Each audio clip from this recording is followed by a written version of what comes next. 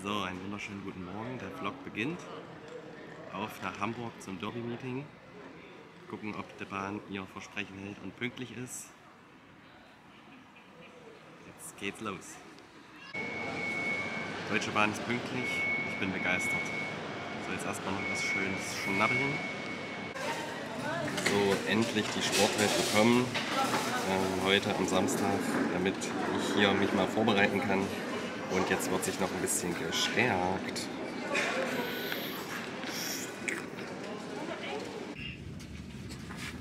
Weitere Anschlussinformationen sind dann kurz vor Ihnen.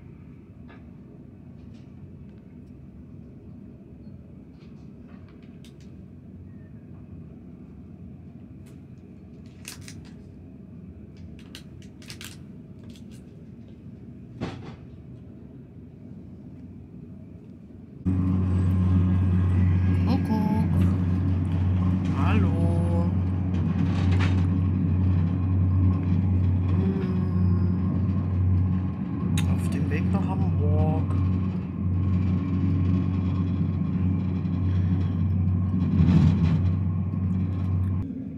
Hab ich doch gesagt?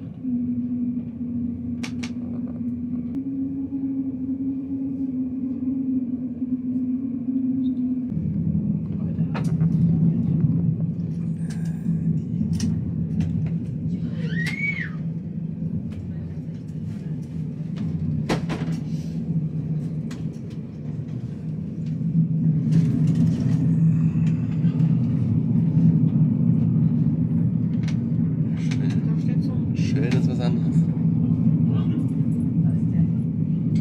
Ei, ei, ei.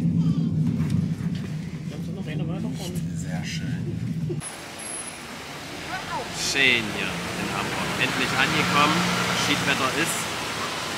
Aber schön, dass Sieht, ja, das sieht so schick aus. Olle auch mit, ja, Olle Wodka. So, und jetzt ab zum Hotel. So, im Hotel angekommen.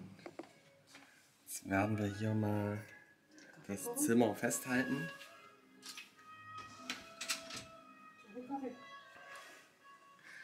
Ich will auch einen Kaffee. Noch Cappuccino. Oder was ist? Kaffee mit Schuss bitte. Cola. So. Mit schöner klassischer Musik, das gefällt mir. Ja. doch. Das muss bestimmt was sein. Musik. Pringles, so Minibars inkludiert. Jetzt lassen wir uns mal überraschen, was da drin ist. Ankommensbierchen, Weinchen, unalkoholische Getränke. Ja, das ist Jens. Eiswürfel auch. Das ist der Top. Ah, was Süßes. Das ist ein Top-Spiel hier. Jetzt gucken wir uns noch das Bad an. Oh, diese klassische Musik, die macht mich, die macht mich nervös. Aber auch schön. Guck mal, Hier ist mein Thron.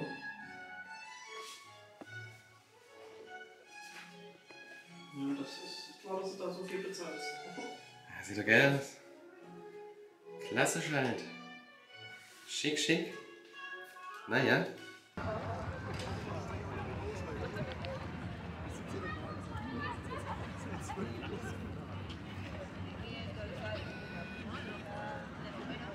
Der Musical-Zelte.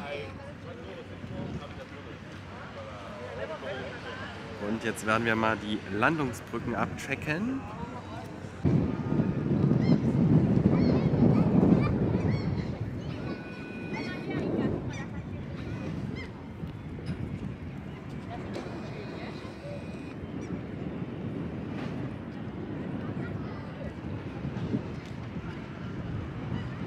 So, jetzt ab zum Fischessen.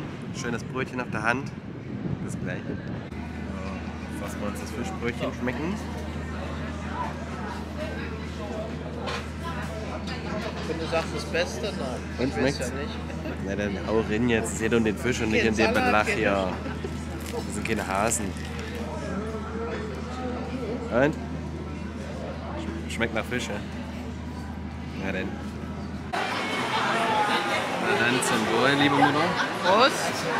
Auf dann zum Morgen knallt. Ja? Im Geldbörse. Der Geld Der Hose. an der Hose heute Abend. Nicht. Sag, wie er schmeckt.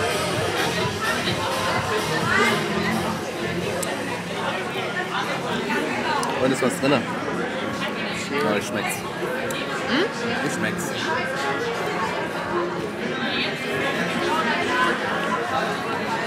Ja, könnte ein bisschen mehr Schnaps drin sein.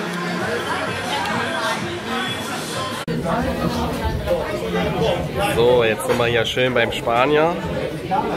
Schön lecker Tapas essen. Es wurde gerade flambiert, aber so schnell konnte ich es nicht die Kamera rauszücken, wie es schon wieder ausgepustet worden ist.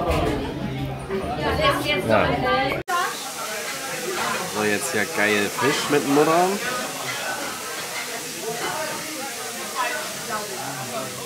Haben uns natürlich auch schön Sangria bestellt.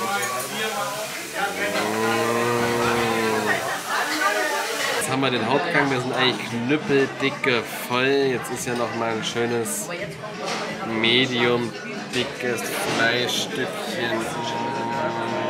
Aber ich kann eigentlich überhaupt nicht mehr. Ja, das ist ja das, was ich vorhin gemeint habe. Mutter hat zum Glück nur ein kleines. Aber die ist auch bombenvoll. Also hier Ich meine Knie, es wird ja nicht besser, Christian. dickes Shoutout an das Restaurant. Hier gibt es dann eine eigene Bar, wo man sich bedienen kann mit jeglichen Schnapssorten. Ich krieg's jetzt hier nicht eingefallen. Ich mache nachher noch mal ein Video von dem Restaurant, aber hammergeil. So, jetzt haben wir hier die Nachspeise. Wir sind knüppelvoll. Ich kann nicht mehr. Aber ein Glück ist das nicht ganz so groß. Warte, müssen wir uns. Oh, jetzt habe ich es verpasst hier. Schade. Mm. Es reicht. Es reicht.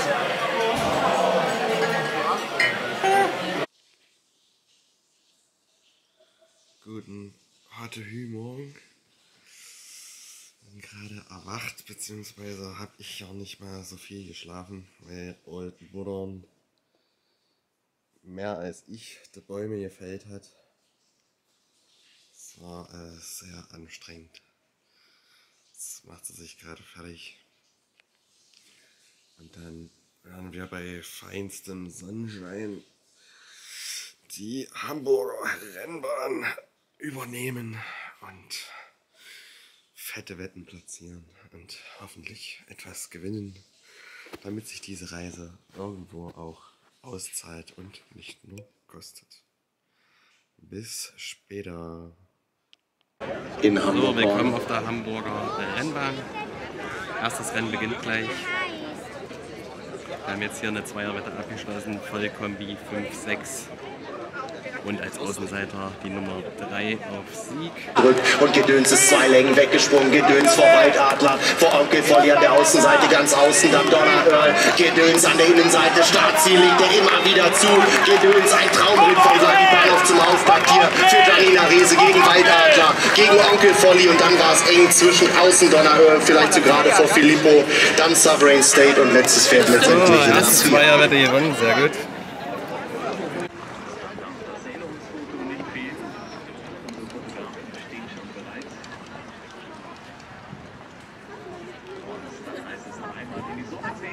hier in Hamburg Nord, meine Damen und Herren.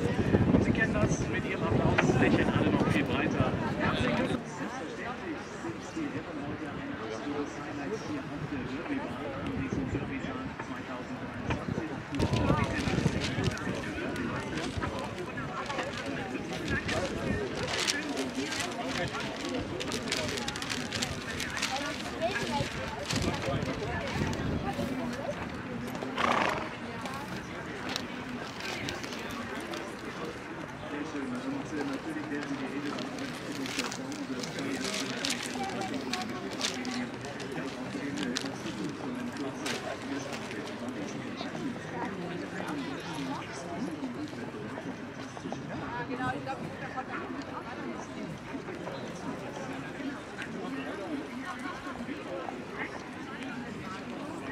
hast du vielleicht? Eins oder was? Fingerchen weg. Hast du schon eins ausgeguckt?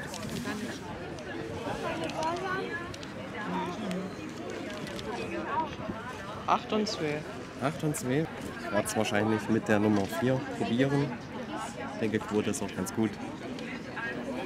Bis gleich.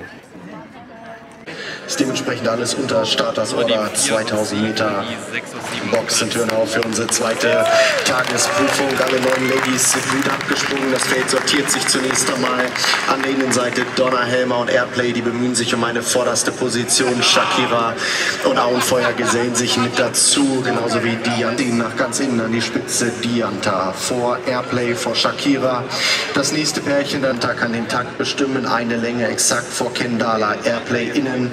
Dann Shakira vor Donna Helmer, vor Auenfeuer, Bavaria, Meerlust und äh, Viola. So langsam in Entsch- Richtung entscheidender Phase geht es. Dianta hat noch keine Gegnerin hier in diesem Rennen gesehen, führt vor Kendala. Dann Airplay innen, Shakira, Auenfeuer orientiert sich so ein bisschen nach außen, um natürlich auch näher dran zu bleiben.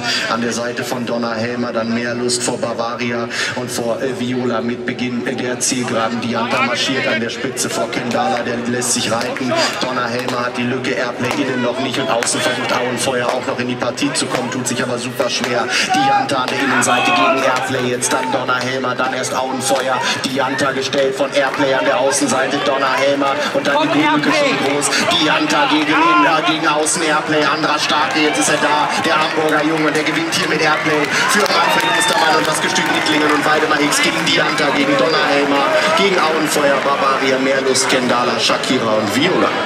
Naja, diesmal war das nix. Jetzt sehen wir erstmal was schlauer. Röstchen, Mami. 3, 6, 9. Ach Quatsch, So. was hab ich gesagt? 2, 3, So 6. haben wir jetzt Siegplatz. Solar B Siegplatz und dann noch äh, die Stay First ist Nummer 6 oder 5? Nummer 6 auf Sieg. Para außen, Solar Bay ganz außen wird jetzt Kenred in die Entscheidung hier gebracht. Vorne ist Windham Bell nach vorne gezogen. Windham Bell führt vor außen Solar Bay, dann Kenred. Repute innen hat jetzt die Lücke gefunden, aber es könnte vielleicht zu spät sein. Außen Solar Bay mit Windham Bell an der Innenseite, dann Repute, dann Kenred außen Swinging 60s. Solar Bay gegen Windham Bell an der Innenseite, Solar Bay gegen Windham Bell. Grandioses Finale, Solar Bay außen gegen Windham Bell. Solar Bay so gerade im Ziel, das ist eine klasse Stute. Und den Rest bis hin zur Visibility. Solar Bay gewinnt mit Robin Weber hier am Derby-Tag in Hamburg-Horn. Mr. Wonderful Startler. Sancho fehlt noch der Favorit 4,0. Quintarelli ebenfalls von außerhalb. Und dann ist Vicky als letzte Kandidatin. Siegplatz gespielt, Jeanette. Festkurs angespielt. Und Modern habe ich jetzt die Nummer 3. Ebenfalls noch. Viviane kommt heran mit Maxim Geschirr. Sweetie eben. Alles ist startklar. Boxentürnau für die vierte äh, Tagesprüfung. Da gab es am Start mal ein paar Kollisionen, ist aber alles gut gegangen. Wer übernimmt die Spitze? Ganz innen Hello Ella und ganz außen Kintarelli mit Ginette, mit äh, Sunny Sun, dann Shenzhen an der Innenseite von Mr. Wonderful, La Montespan, dann äh, Sancho ganz außen Sweetie vor Viviane und Sayan Ginette führt vor Sweetie die ist zweite, dritte an der Innenseite Hello Ella, viertes, viertes Kintarelli ist die Zielgerade erreicht. Vorne ist Sweetie sofort an der Seite von Ginette Kintarelli, dann Hello Ella, dann Mr. Wonderful. Sancho hat einen weiten Weg bis nach vorne. Sweetie ist an selbiger Position jetzt. Sweetie führt vor Kintarelli, vor Mr. Wonderful an der Außenseite fliegt Sayolita heran. Vorne ist Sweetie mit Kintarelli, mit Mr. Wonderful. Sayolita ganz an der Außenseite und jetzt kommt Shenzhen hier hindurchgeschnitten. Sweetie an der Innenseite mit Mr. Wonderful und Sayolita. Sweetie innen gewinnt, glaube ich, so gerade gegen Mr. Wonderful, gegen Shenzhen. Dann war es Sayolita. So, meine Lieben, ist jetzt natürlich hier schwierig, wie ihr Genauso seht, regnet es hier Princess ständig. Gerade konnte ich nicht filmen, weil das so geregnet hat. Wie Evina in der ersten Römerhoffarbe Ähm, sechstes Rennen haben wir jetzt hier Frozen richtig viel gespielt. und muss noch einrücken. Vollkombi, die Nummer 1, Born to Dream. Dazu gesellt sich die Der Nummer Evina 5, kommt ganz Casada, außen der heran, ist Toto-Favorit. startklar. Und dann noch die 7, Dementsprechend Princess Zelda. jetzt das ist noch nächste Vollkombi. Dann habe ich noch Festkurs-Wette angespielt. Auf die Nummer 11 Weltreise, so ein bisschen Außenseiter. Mit kleinem Geld, Siegplatz angespielt. Und noch einen Einzelschein mit Siegplatz auf, den, äh, auf die Nummer 7, Princess Zelda. So, jetzt werden wir hier das sechste Rennen verfolgen, kurz vor dem Hauptrennen. Und da werde ich mal ein bisschen Thüringen äh, filmen natürlich und dann auch den Zieleinlauf. Drückt die Daumen, bisher läuft es Die nicht gut. Weltreise ist startklar. Dementsprechend kommt jetzt Frozen heran. Übernimmt zunächst einmal die Spitze, wo es am NH Hotel vorbeigeht. An der Innenseite Spirit of Dreams, Casada, der Weltreise und auch Gene direkt in vorderster Linie mit dabei. Genauso wie Drawn to Dream, dann Ultima vor äh, Sweet Diana an der Innenohren marschiert sie dort an der Spitze weiter. Casada vor Spirit of Dreams, vor Frozen, Innen Weltreise, Ultima, dann Drawn to Dream, Princess Zelda macht Bodengut, Sweet Diana und von den restlichen drei Ladies kann leider keine Rede mehr sein. Mit Beginn der Zielgeraden geht es weiter. Wohin tendieren sie immer noch? Ist Casada vorne vor, innen Frozen. Princess Zelda hat spürbar Position verbessert, dann Spirit of Dreams und dann Ultima. Noch marschiert sie weiter. Casada an der Spitze, Casada, die klasse Stute aus Röttgen führt vor Ultima an der Außenseite, Leute vor Frozen, vor Prinzess Zelda allein seid. Jetzt muss ich Andras klein machen, denn Casada wird müde. Innen kommt Prinzess Zelda und außen Ultima rollt auch noch heran. Casada ist immer noch vorne vor Prinzess Zelda an der Innenseite, außen Ultima. Casada mit Prinzess Zelda innen. Casada, Prinzess Zelda, Prinzess Zelda, Wahnsinn. Prinzess Zelda gewinnt gegen Casada, gegen Ultima, Spirit of Dreams Frozen. Dann Drawn to Dream und dann kommen ganz, ganz müde Stunden. 17 zu 0. Jawoll, Mann, das scheppert richtig rein. 7,5? 7,5 ist mir egal.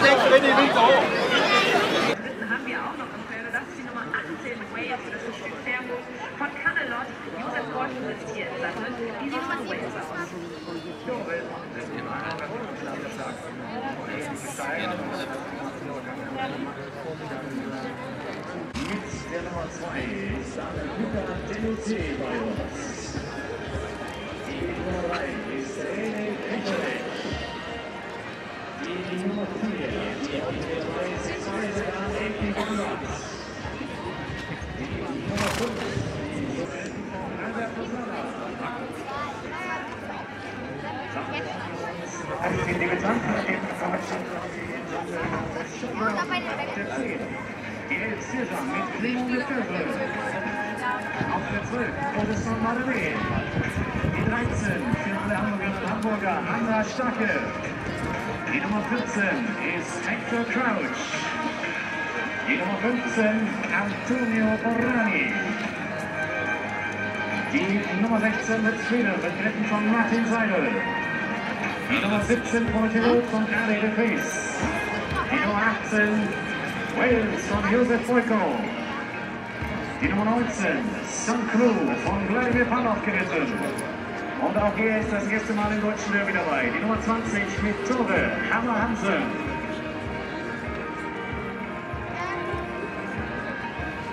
Und jetzt werden also die Jockey-Fotografen Und Muttern war getroffen. als Erinnerungsfoto an das ID 154. Deutsche Derby. Schwer. Gerade hier an der Führung, wir stehen mittlerweile in Wie ist sechs der? Reihen. Schlecht. Natürlich, wer dieses Derby für sich entscheiden wird. Riesenaußenseiter. Aber Box auch richtig. Box 11 geht noch. Ich hab jetzt hier halt Und äh, wir wollen natürlich auch mal bei Fantastic Moon jetzt hier. Box 16 ist natürlich richtig scheiße. Holger ist Faust äh, hat jetzt Na, natürlich gerade noch viel zu tun. Da warten wir eigentlich So, Jetzt das geht's los, das 154. Rennen. Deutsche Derby Der startet Rennen, in das ansteht, auf Minuten. das wir alle so Wir lange einige gewartet haben. Das sind die Pferde getippt. Ähm, Ich versuche mal kurz 154. zusammen Deutsche Derby. kriegen. Also ich habe die Nummer 3 Möge der Beste dieses Rennen getippt, letztendlich dann ähm, auch gewinnen. Wir drücken allen 20 Meine Teams die Daumen. In gut drei. Minuten werden wir es wissen, wer der Derby-Sieger des Jahres habe ich die Nummer 13 Aspirant 2023 getippt. sein wird. Und nicht mehr viele, wie wir sehen. Äh, Straight Wales, Merkur. die Nummer 18 Wales und jetzt hoffen wir, dass hier einer der Außenseiter reinkommt und wir uns hier mit einem fetten Gewinn Und dann freuen kann es können. gleich losgehen. Boxentüren auf zum Ende. An der 2400 Meter Marke. Die 20 Kandidaten, die sortieren sich jetzt natürlich. Wer übernimmt zunächst einmal die Spitze? Sirian ist gut auf die Beine gekommen, genauso wie Merkur, wie Wales, wie an der Außenseite. Dann noch I Fight for Lips, If Not Now. Und dann Aspirant for Straight, Mr. Hollywood. Und nach Geiste geht es an ihnen vorbei. Am Hamburger Publikum und von der Spitze aus heute Sirian führt. Vor ihnen If Not Now. Dann Merkur. mit Beginn der Gegenseite. Das Tempo ist gut, das vorgelegt wird von Sirian. Der hat anderthalb Längen Vorteil vor iFight. Versucht sich jetzt hier die Favoriten eine Passage zu bilden, aber die sind weit zurück. Sirian ist immer noch vorne. Sirian vor If Not Now, vor Pivotal Trigger. Dann iFight vor Lips. Jetzt hat Mr. Hollywood innen die Lücke gefunden. Geht er da durch? Mr. Hollywood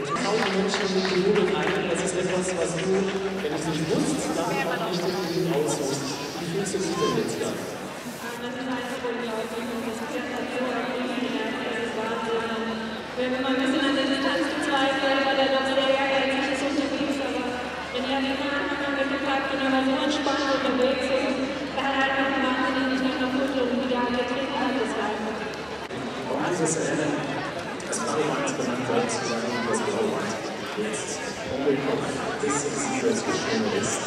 Und äh, einige Damen haben viel zu dann werden wir jetzt dann auch gleich nochmal ein bisschen hier vorstellen. Äh, Gina nämlich, sie ist schon seit einiger Zeit hier von seiner Stadtwerk. Hat ihre Zelte mittlerweile Beine aufgeschlagen, war auch unglücklich und äh, hat das auf den äh, ersten Metern was das da alles und ich freue mich, dass äh, natürlich auch äh, hier die Züchter bzw. Sektor zusammenkommen sollen. Gaffel, der von Stadtwerk eingesetzt ist, die Sachen zusammen eingesetzt. Jemand die mal angucken. So, Derby-Sieger Stößchen. Mama. Und Sie sehen ihn, meine Damen und Herren, der Siegreiter auf Fantastic Moon. Ihr Applaus für Und? Da habe ich noch nie getrunken, das Zeug. Ah ja. Nur wie- na, das ist zu wenig Das Schnaps. schmeckt wie so günstiges Außer. Bonbon. Für 8 Euro.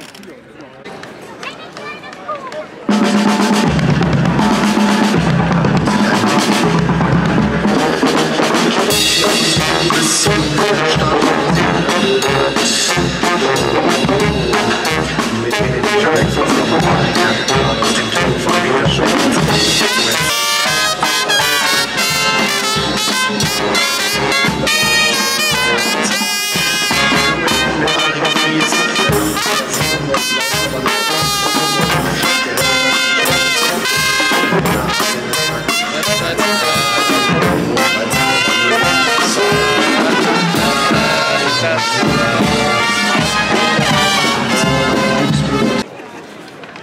Spirit fehlt noch, genauso wie mein Coco So, meine der Lieben. Rainbow Summer. Ups, das wird jetzt ein bisschen schwierig hier. Ähm, achtes Rennen. Mr. Bombastic, fehlt noch. auf die Nummer Der Blick in die 14 Startbox zu Blümo. Adele Fries und der Borja Eingereicht mit Rosa 150er Quote.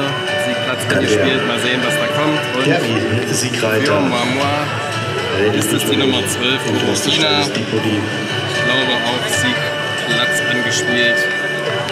Äh, Das wollen wir mal sehen. Äh, Irgendwann muss ja mal die Serie reißen. Also es läuft halt richtig gut. Ich hoffe bei euch auch. Bis, bis zum Einlauf. Wild Run. Kandidaten zum ersten Mal an uns vorbei. Someone You Love, direkt aus der Box gefallen, findet sich am Ende des Feldes wieder. Dort übernimmt Serienmord mit Tuya in die Spitze vor Ray Rainbow.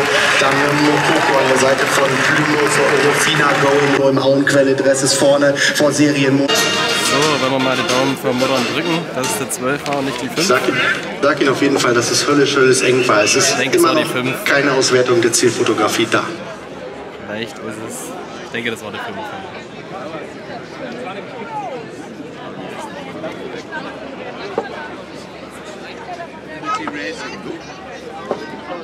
Die halten noch auf die 5 mit der Kamera.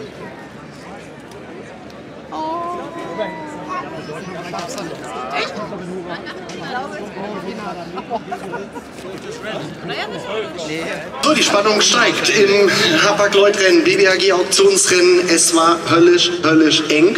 Und wenn es höllisch eng war, dann gibt es ein Todesrennen auf dem ersten Platz zwischen Pyrrhus, der Programmnummer 5, und der 12 Orofina. Also Todesrennen auf dem ersten Platz zwischen der 5 Pyrrhus und der 12 Orofina. Dritter dementsprechend die 8 Duke Spirit. Vierter die 14 Plümo und fünfter die 1 Serienmond. Wir haben zwei Sieger, also die wir jetzt beide feiern. Und Thorsten hat ein gleiches auf ein neues. Mal sehen, ob die Siegesreihe irgendwann mal reißt. Wir haben jetzt auch wieder alle beide Scheine gehabt. Wen haben wir jetzt gespielt? Ähm, Siegplatz Gora Beret hat Mamois und ich habe Wainolo nur auf Platz gespielt. Ich habe jetzt äh, langsam. So, doch einfach mal die. Serie reißen. Jetzt Und jetzt werden wir sehen, für ob John ich das jetzt mal ange eingefangen kriege, weil gerade am Tod das Alles ist stark, 600 Meter Mark, alle Pferde gut auf die Beine gekommen. Wer übernimmt zunächst einmal die Spitze, wenn es auf die Außenbahn geht? Äh, Asterix, Wainono, dann äh, Woody Wood mit innen Gora Beret. Vorne ist es Wainono mit Asterix, mit Rosa an der Außenseite, Rosa ganz außen mit Asterix, mit Wainono, mit Glattes Whisky an der Innenseite und dann Albinius. Rosa außen ist vorne, Rosa ist vorne vor Asterix, vor Wainono, und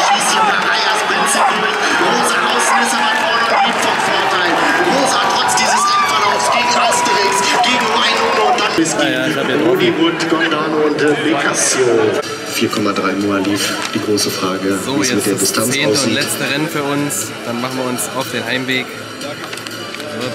Wind ist immer noch da. Ich habe jetzt eine Vollkombi gespielt äh, mit den folgenden Nummern. Die 1 Moalif, die 3 Dangadi und die 4 El Rubio. Hoffentlich gewinnt Dangadi nicht, weil er Rechnungsfavorit ist. Und dann können wir ja auch was gewinnen. Klar sind sie Favoriten, aber mal gucken, ob es klappt. Muali vorne, Muali vor, außen El Rubio, dann Dangadi, der dringt nicht durch, ganz außen Willi Byte, vorne marschiert weiter, der marschiert immer weiter, Mualif, Mualif vor außen Willi Byte, jetzt Attacco auf freier Bahn mit Postman, mit ganz außen Kitty O'Shea, vorne Startziel geht das, jetzt werden die Beinchen müde, denn Postman kommt, Mualif vor Postman, Andrasch will das Blatt noch wenden, aber innen, Mualif kann zulegen, auch auf der weiten Distanz, Mualif gewinnt gegen Postman, gegen Attacco, Willi Byte, El Rubio, Primo Violetto, dann war es Kitty O'Shea, dann erst dann geklappt. vor Garuva, ja.